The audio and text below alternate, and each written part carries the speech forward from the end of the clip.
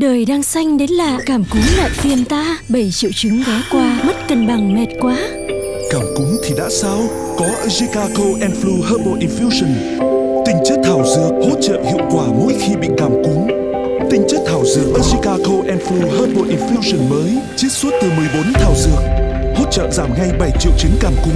Việc cảm cúm đã có tinh chất thảo dược Urgica Cold and Flu Herbal Infusion mới. Thực phẩm này không phải là thuốc và không có tác dụng thay thế thuốc chữa bệnh. Không dùng cho người quá mẫn với bất kỳ thành phần nào của sản phẩm.